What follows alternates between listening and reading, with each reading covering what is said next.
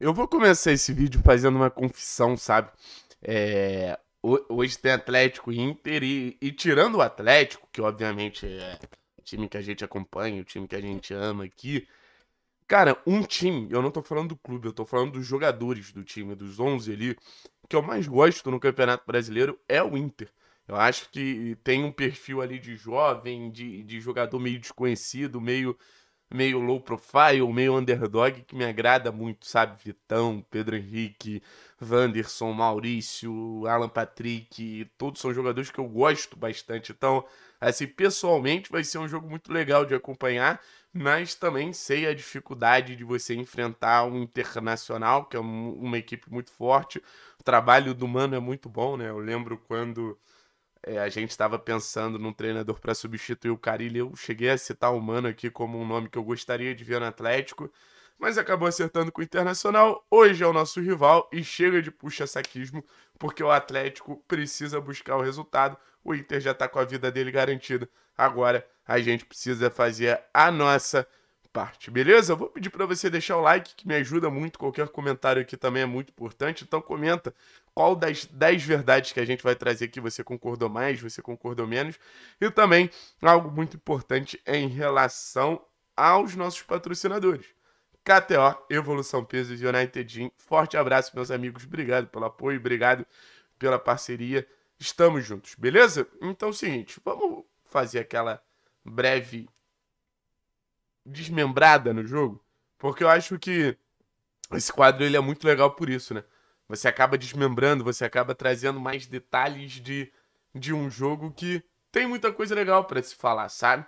E vamos começar com a verdade de, de número um, que eu acho que essa verdade vai virar até vídeo, tá?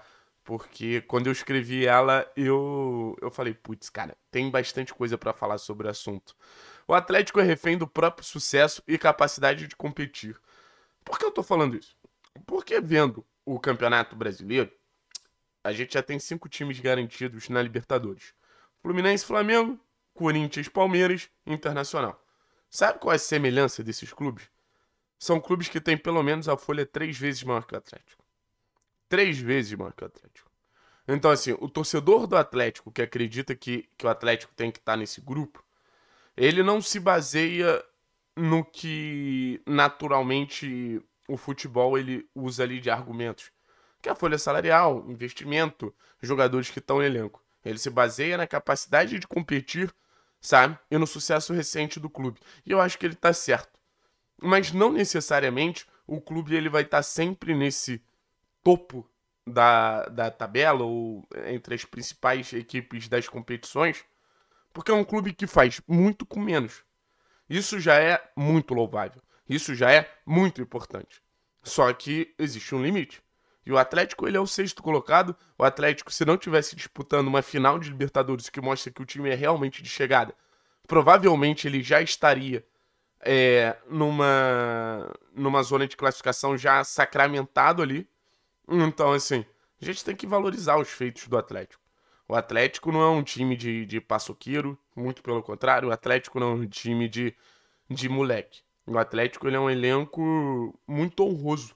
O Atlético ele é um elenco, ele tem um elenco, né, muito muito ambicioso, que representa muito as, as cores e as ambições e os sonhos do clube. Então assim, orgulho desse elenco, orgulho de ser Atlético, queria deixar muito claro isso. Número 2. Esses últimos jogos também são desafios para a comissão técnica. Filipão, Paulo Turra, Wesley Carvalho, profissionais que a gente não sabe se vão se manter no Atlético, né? A gente tem uma ideia que, que eles devem ficar para 2023, mas também acho que é o momento para mostrar um pouquinho mais de variedade tática, sabe? Mostrar que eles conseguem fazer uma boa gestão de grupo a partir do momento que o grupo ele tá focado na competição. A gente vê esse grupo tendo uma boa cabeça ali, sabe? Então, não acho que, que assim, os caras estejam garantidos, não. Eu acho que eles têm que estar tá sempre se provando.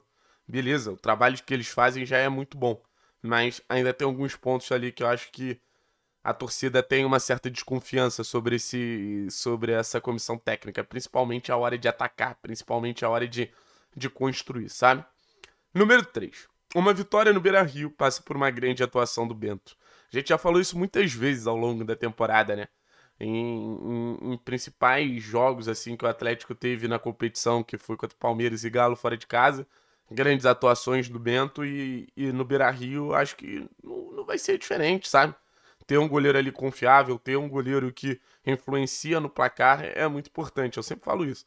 O, o ponto de, de mudança de perspectiva do goleiro, quando o goleiro realmente amadurece, quando o goleiro realmente ele cresce ali, é o momento que ele começa a ser influente nos, nos resultados dos jogos. E cada vez mais eu vejo o Bento influente nos resultados dos jogos, sabe? Contra o Goiás foi influente negativamente, mas imagino uma grande atuação do Bento no Beira Rio. Pelo menos eu espero que, que é um passo importante para a vitória do Atlético, sabe? É, vamos lá, número 5. Não, número 4. Thiago Heleno merece um companheiro melhor no Atlético. Não é um vídeo especifica... não é uma verdade especificamente sobre esse jogo, sabe? É uma verdade, eu acho que mais geral. Tá na hora do Thiago Heleno ter um companheiro muito bom ao lado dele. Eu acho que, que depois de muito tempo assim do Thiago Heleno como titular, se a gente fizer uma, uma ordem cronológica dos companheiros do Thiago Heleno, talvez o Léo Pereira tenha sido melhor ali numa fase muito boa em 2018. Então, assim, tá na hora do Thiago olhar pro lado e sentir muita confiança. Pedro Henrique não acho que seja esse zagueiro que passa confiança. Número 5. Pedrinho mostrou uma bela alternativa de comportamentos contra o Goiás. Cara, eu vi um Pedrinho mais construtor, sabe? Eu gostei do que eu vi contra o Goiás. Assim, eu tenho algumas críticas ao Pedrinho, acho que ele deu alguns moles contra o Goiás também, mas eu senti um Pedrinho não aquele lateral só de ultrapassagem. Até porque o Vitinho ele estava no corredor externo, então é, você tinha que segurar um pouquinho mais o Pedrinho e ele se comportou muito bem distribuindo o jogo. Foi o jogador que deu mais passe para o jogo, se conectou bem ali com o Vitinho. Então mostra um amadurecimento de certa forma, mostra uma alternativa interessante de um jogador ainda que é muito novo, faz uma temporada de altos e baixos, mas assim acho que é o primeiro passo para a gente ver esse garoto como um lateral mais completo. Foi assim também com o Kelvin, né? Quando o Kelvin parou de ser só esse lateral de ultrapassagem, começou a construir mais o jogo. A gente viu um crescimento muito legal do Kelvin e eu espero que o Pedrinho continue crescendo, porque a gente sabe que existe o risco do Abner sair para o futebol europeu em breve.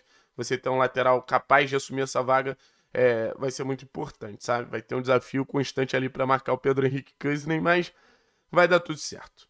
O número 6. Em jogos mais difíceis, jogos que a gente vai ter que se defender mais, jogos que a nossa postura ela vai ter que ser outra, é, o Eric entrega mais defensivamente que o Alex Santana. Eu acho que a gente pode ter esse rodízio, né? Jogos que, que o Atlético tem um pouquinho mais compromisso de atacar, jogos que o Atlético tem um pouquinho mais compromisso de, de construir. Eu acho que o Alex ele, ele oferece mais, sabe? É um jogador com boa dinâmica, boa infiltração, boa entrada na área, finaliza bem de longe. Então, assim, um nome importante. Mas em jogos que o Atlético tem que defender mais, que precisa de uma marcação mais agressiva, precisa fechar espaços, eu sinto que é a vez do Eric, sabe? Eu acho que, inclusive, o Inter é um time que em algumas vezes já demonstrou interesse é, no Eric, mas eu acho que o Eric ele merece atuar nesses jogos. Número 7. O Fernandinho se torna cada vez o jogador mais importante do Atlético. A gente viu o que aconteceu contra o Goiás quando o Fernandinho saiu, né? Fernandinho, ele, ele cada vez se adapta melhor, se adapta mais ao futebol brasileiro e vem virando cada vez mais dono desse time do Atlético, ditando o ritmo ali no meio-campo, sendo esse cara de acelerar, desacelerar, tirar o jogo da pressão, permitir que o Atlético fique com a bola ao longo do jogo, sabe?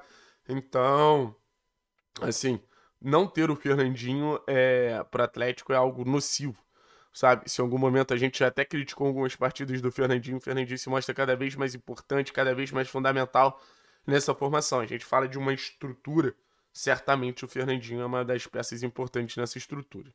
Número 8. Vitor Bueno dá mais liberdade para o jogo do Terence. Porque o Vitor Bueno, na teoria, é um ponta pela direita, mas quando ele vem para dentro construir, ele é um meia. E o Terence, ele tem essa, esse, essa divisão na cabeça dele, né? Sou meia, sou atacante, sou meia, sou atacante, sou meia, sou atacante.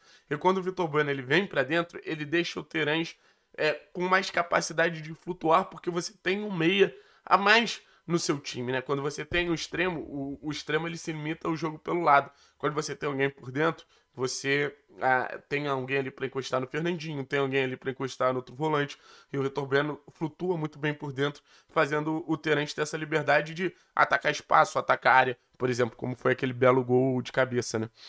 Número 9. Vitinho consegue algo raro na temporada. Um ponta do Atlético jogando bem e justificando a titularidade.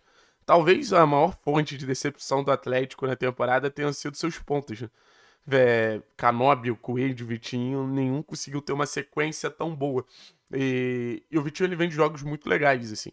O jogo contra o Goiás do Vitinho foi de um nível muito alto. E, e a expectativa é ele ir pra cima do Fabrício Bustos e deixar é, o Bustos na saudade, como já jogou bem contra o Bragantino. Acho que foi até bem na final da Libertadores. Então, assim, é bom ter o, o, o nosso antigo Vitinho de volta. Número 10, com Bueno e Teran juntos, ou seja, esses dois meios flutuando, jogando ali por, pelo centro, Vitor Roque acabou sendo mais participativo. Não fez gol contra o Goiás, mas levou muito perigo o gol do Tadeu, né? Levou muito muita, muitas finalizações ali para incomodar, pegando a bola e partindo em progressão. O que claramente é o cenário que o Vitor Roque se sente mais confortável. Pegar a bola de frente para o gol e de maneira objetiva é, em, em direção ao gol. Então, assim, repito, vai ser um jogo bem legal. Vai ser um jogo de, de, de, alternativas interessantes. Taticamente, os dois times eu acho que até se assemelham em nível, só que a necessidade de ganhar do Atlético. Então, o Atlético vai precisar se impor no Beira Rio. Não pode se esquecer disso.